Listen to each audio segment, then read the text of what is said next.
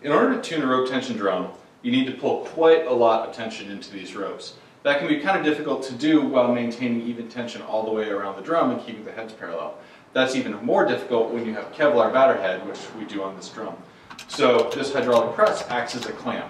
It just clamps the drum together to keep the heads parallel and it makes it much, much easier to get uh, consistent tuning all the way around the drum. You still have to pull all the tension into the rope, but this just helps you to do it in a consistent way.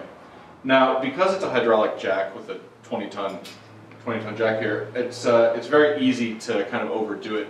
You can stretch heads, break heads, or even break hoops if you're not careful.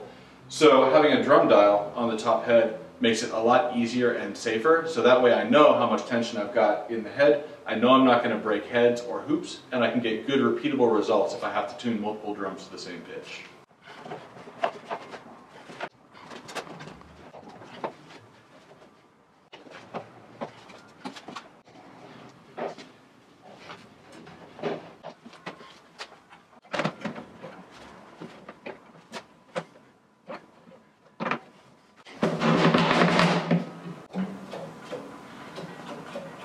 Although this tool makes it much, much easier to tension and tune rope drums, the downside is you can't really play it while you're tuning it. So you can't use your ears to hear where, uh, if the pitch is consistent all the way around. And that's where the drum dial really comes in handy.